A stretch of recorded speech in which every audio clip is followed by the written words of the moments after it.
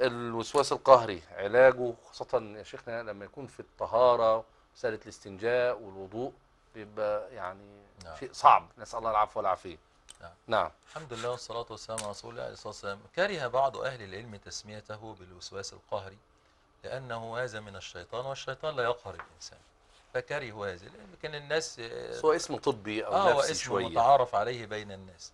آه لكن هو من الناحية الشرعية كره أهل العلم ذلك لأن الشيطان يتعاظم بذلك.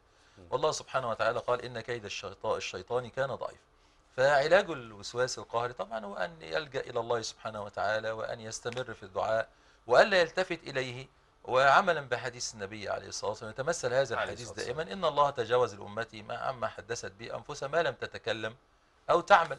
فالإنسان في الوسواس ده ينظر الوسواس يوسوس له في أمور يفعل بخلاف ما يوسوس له يعني الأخ كان بيقول الدروس والخمس دقايق والكلام ده لا يلتفت الإنسان طالما ده وسواس طب لو قهري عندها مركز وبتجيب مدرسين أو أيوة. عنده مركز وخايف لحسن المدرس ما يديش الطلبة حق حق- حقوقهم نعم.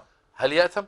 ال- الفتوى لمن عنده الوسواس القهري تختلف عن الفتوى لمن ليس عنده الوسواس عنده الوسواس ده نقول له لا تلتفت إلى هذه الأمور مطلقا لأن هذا سيؤدي إلى تفاقم الأمر عليه. سيفتح عليك أبوابا أيوة، من آه. الجحيم. آه فالفتوى في الحالة دي تختلف عن الفتوى الإنسان ليس عنده هذا الوسواس فلا يلتفت إلى هذه الأمور ويمضي في سبيله ويعني لا يعطي الشيطان هذا الحجم وهذه ال- ال- القيمة يعني.